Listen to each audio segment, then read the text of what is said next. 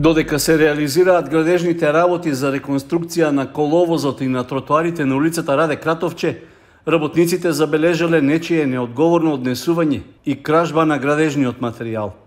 Последен таков случај е регистриран во текот на изминатото денонокие, при што е забележано дека недостасува поголема количина бехатон плочки, што биле подготвени за вградување на тротоарската површина. Одговорниот на работната група за Канал 8 истакна дека овој случај не е прв, со оглед што се повторува неколку пати досега додека трае реконструкцијата.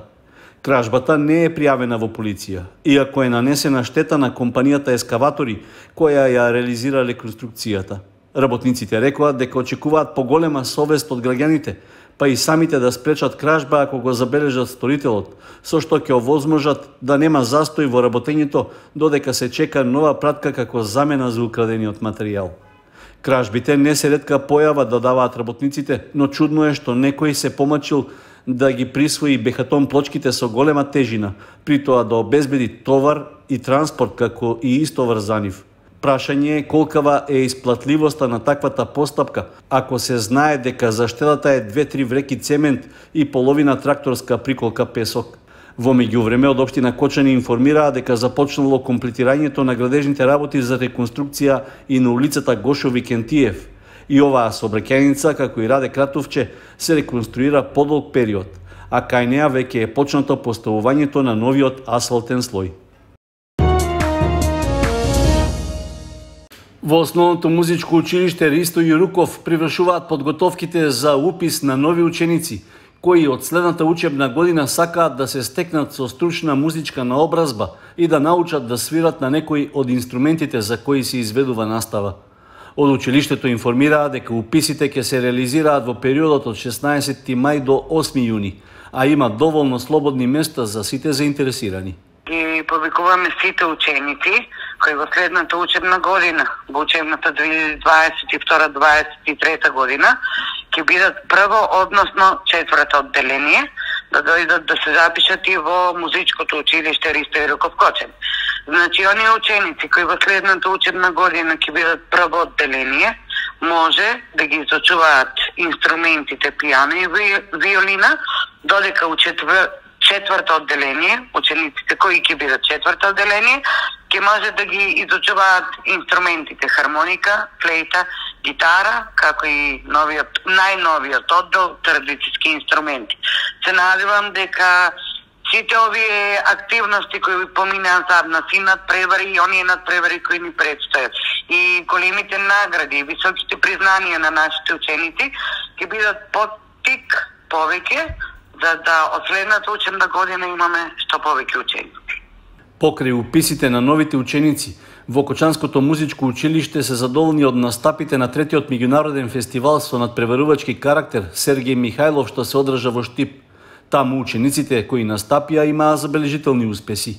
Луна Милосова, Јана Филипова, Мија Михаилов и Теодора Захариева освоија први награди, додека Надица Апостолова и Андреа Димитрова се закитија со втори награди под менторство на наставничката Елизабета Георгиева. Јован Цветанов освои прва награда, а Јован Божинов втора под менторство на наставникот Душан Стојанов додека пак Бјанка Димов и Марко Јовановски беа второнаградени, работејќи под менторство на наставникот Дејан Стојанов. Ана Митева под менторство на наставникот Стефан Стефанов ја освои третата награда. Макарија Иванова ја освои првата награда и лауреатот заедно со својот соученик Никола Илиев под менторство на Марија Лазарова. Првонаградена беше и ученичката Јована Захариева, која настапи на флейта под менторство на наставничката Јованка Милоевиќ.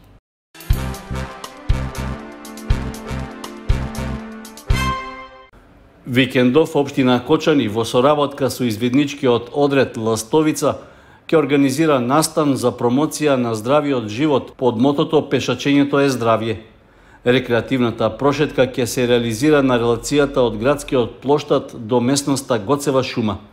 При тоа ќе се користи земјената пешачка патека од десната страна на Кочанска река.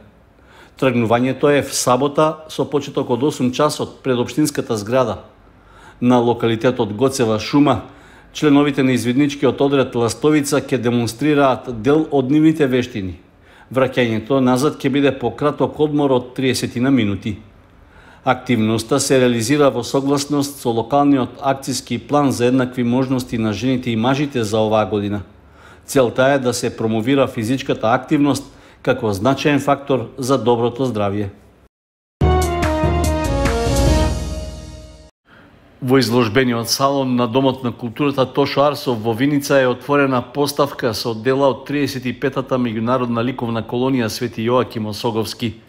На изложбата се представени 15 уметнички дела, работени во различна ликовна техника, што уметниците минатата година ги изработија во специфични пандемиски услови и здравствени протоколи. Од Домот на културата во Виници изразија задоволство што е воспоставена соработка со реномираната колонија од Крива Паланка, чии дела ќе можат да ги видат љубителите на ликовната уметност.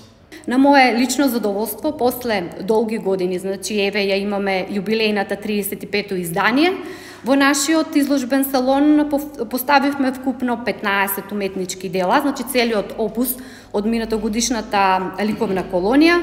Поставивме три скулптури, ситна пластика, и очекуваме виничани да дојдат во престојните две седмици да уживаат во она што го нуди колонијата од меѓународната ликовна колонија рекоа дека со изложбата во Виница се заокружува представувањето на делата во регионот, а очекуваат соработката да продолжи и во наредниот период.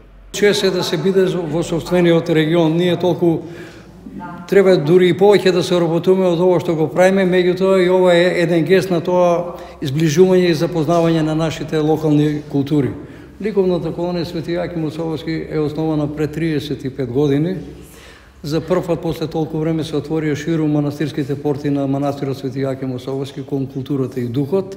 Колонијата за кратко време пресна, достигна ниво на препознатлива ликовна манифестација, од која појдоа тангенти, духовни тангенти кон повеќе центри во светот. Име три ситни пластики, другите се уметнички дела работени во различни техники, комбинирана техника, акрил и масло на платно. Изложбата во Домот на културата Тош Арсов во Виница е петта презентација на делата по Крива Паланка, Штип, Кочани и Делчево, со што во специфични услови, на скромен начин, ликовната колонија го одбележува својот 35 годишен јубилеј.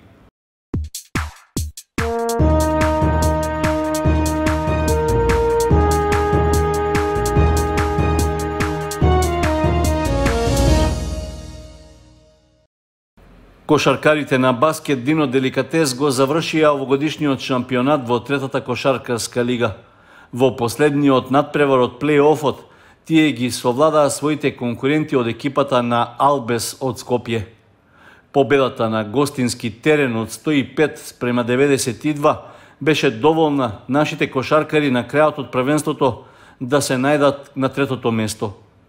Момчињата покажаа добра игра и со поголема поен разлика во првата и третата четвртина ја обезбедија победата. Со оглед на сите околности што го следеа изминатото првенство во третата лига, освојувањето на третото место може да се смета за голем успех за баскет Дино Деликатес. Победник од плейофот над преварите е екипата на Куманово, која стана и шампион, со што од до година ќе се надпреварува во втората лига. Сите кошаркари од баскет Дино Деликатес заслужуваат честитки за пожртвуваната и добра игра, со што храбро и достоинствено го одиграа ова првенство и заслужено се најдоа на третото место.